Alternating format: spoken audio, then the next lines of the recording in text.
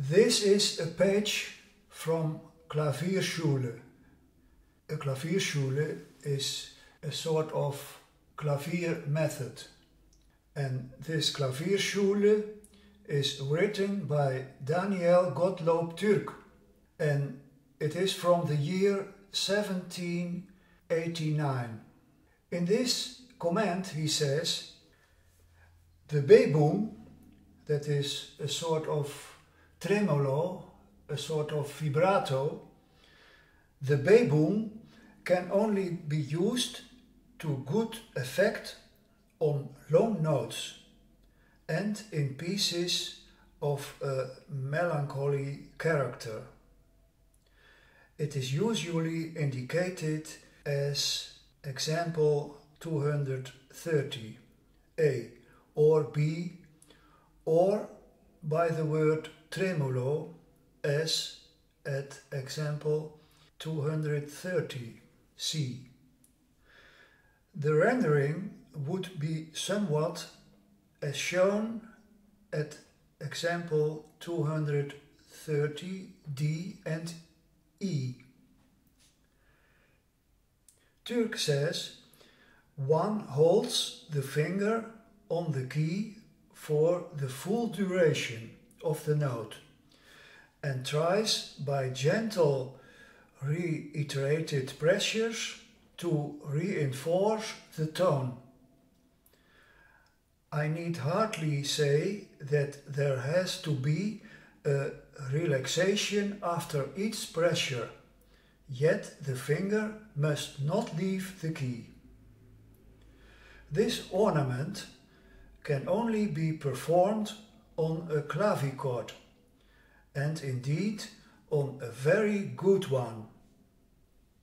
One must not use the Bebung too often and must avoid the distressing exaggeration caused by using too much pressure. That are the words of Türk. You see a note with four dots above it.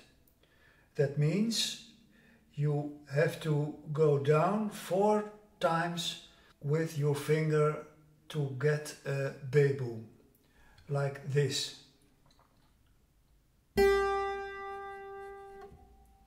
You hear four times a sort of vibration.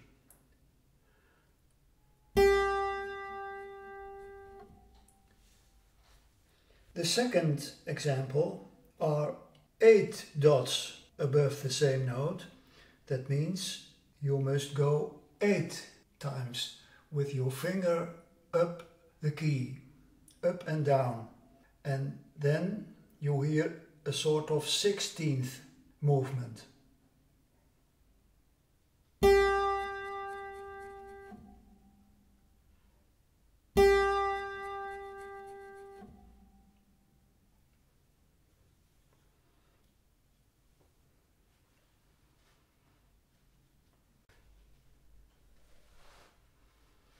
There is a clavier method written by Franz Rigler called Anleitung zum Klavier.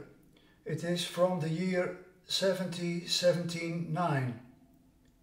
This Franz Rigler writes about the Bebung when the key is somewhat slowly rocked, when the tone is rocked quite clearly according to the number of dots without actual repetition of the finger stroke.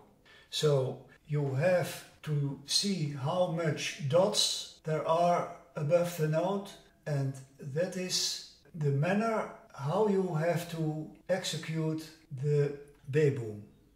So you have to see how much dots there are above the note and that is the way you have to execute this Bebung. When you see four dots, the finger goes four times up and down on the key. And when there are five dots, the finger goes up and down five times. This is a page from the 18 Probestücke for the Versuch über die wahre Art, das Klavier zu spielen, written by Carl Philipp Emanuel Bach in the year 1753. This example is the end of the Largo Maestoso from the fourth sonata. You see only three long notes have dots above it. The first note, an A, has five dots. The second one, F sharp, also five. And the third note, D, has six dots. If the intention is that we only these three notes should vibrate, we must play it thus.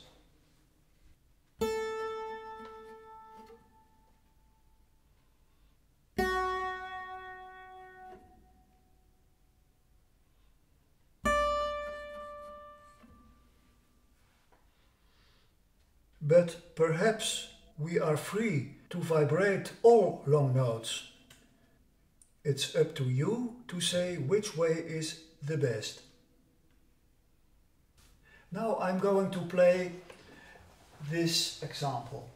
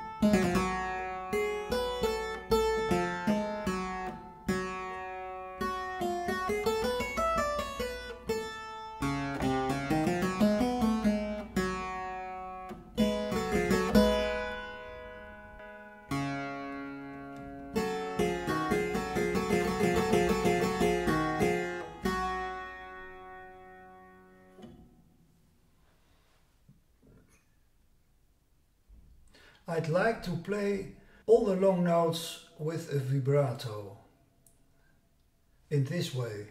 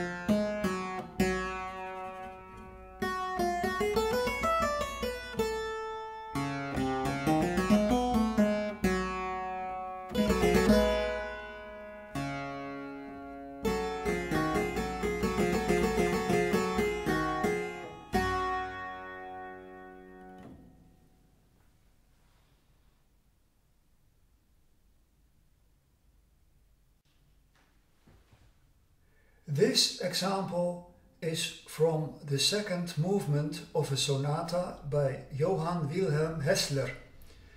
It is called Adagio. In the second bar we have a note D with six dots. That sounds thus.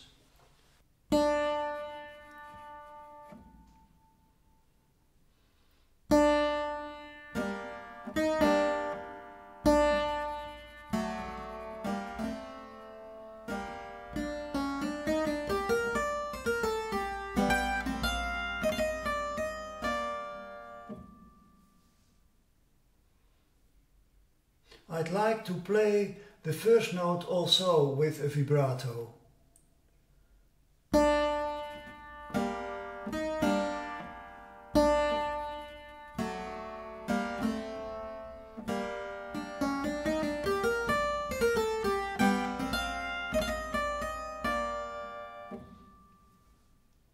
And it is possible to play the second bar a bit more free, like this.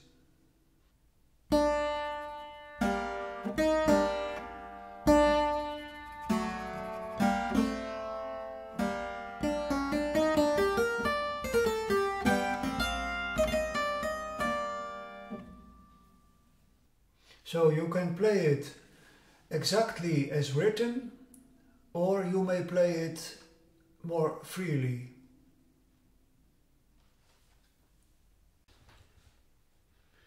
This example is from another sonata by Hässler. It is the first movement called Andantino con affetto. In the third bar there is a G with four dots above it. This sounds thus.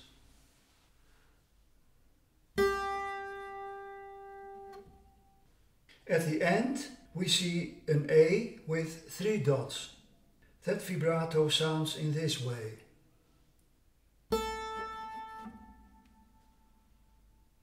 And now both lines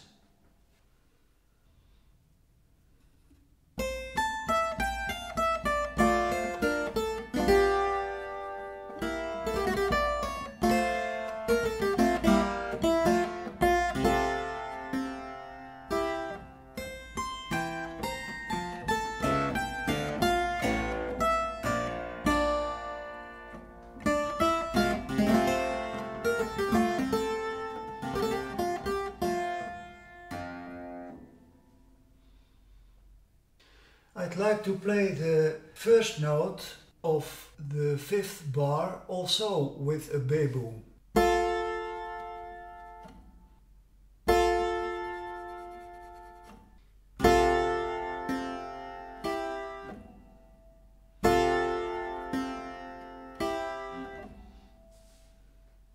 And the third note of the second bar from line 2 also. Dat is the octave D.